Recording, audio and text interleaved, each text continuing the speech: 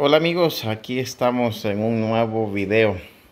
Pues hoy vamos a hablar un poquito sobre la dieta alimenticia que podemos tener en estos días de cuarentena.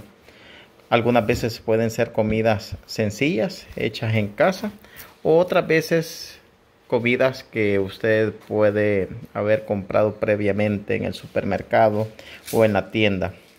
Para aquellos que tal vez no, no saben qué cocinar en casa y, eh, se aburren de la maruchan, aquí les presento una alternativa, ¿verdad? Si es posible.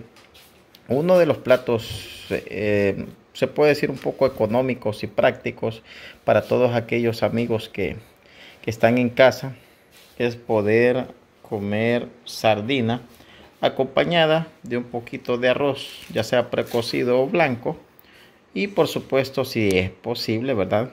Un aguacatito allí y con una tajadita de limón. Acá tenemos un refresco natural de mango maduro. Y por supuesto no deben de faltar las chengas o las tortillas. Así que estas y otras recetas prácticas y sencillas las vamos a estar compartiendo acá en el canal. Y un saludo muy especial a todos aquellos amigos que están viéndonos en cualquier parte del mundo.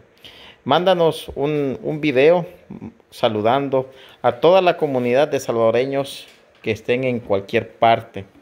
Mándanos tu videito ahí al más 503 71 16 82 20 y danos tips, compártenos tips de consejos cómo ustedes están, eh, digamos, pasando eh, esta cuarentena y cómo están conservando sus alimentos. Así que muchas gracias a todos por su preferencia.